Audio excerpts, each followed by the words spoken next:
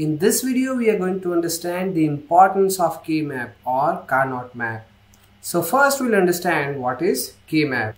It is a graphical representation used to simplify the logical expression and optimize digital circuits.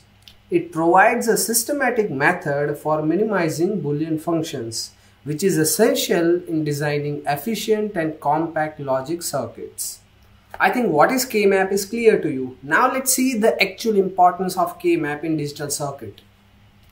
K-map provides visual and systematic approach to simplify complex Boolean expression. Now, simplifying this expression reduces the numbers of logic gates needed to implement a digital circuit. This not only makes the design more efficient, but also easier to understand and troubleshoot. Using fewer logic gates also means lower manufacturing cost. In large scale production, even small reduction in numbers of components can lead to significant cost saving. This is a vital for companies aiming to produce cost effective electronics. Simplified circuit also operates faster. With fewer gates for signal to pass through, the overall propagation delay decreases resulting in quick processing time.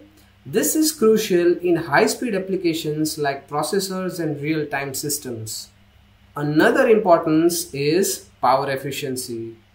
Few logic gate means less power consumption, which is particularly important in battery operated devices like smartphones and laptops. Longer battery life and reduced heat generation are directly beneficial. So these are the indirect benefits of using K-map. Using K-map, your circuit reduction becomes easy. Doing efficient circuit reduction will result in all of these benefits. So indirectly, K-map is really, really very important for digital circuits. So now in next video, we are going to learn how to prepare a K-map from an equation. So see you into the next video.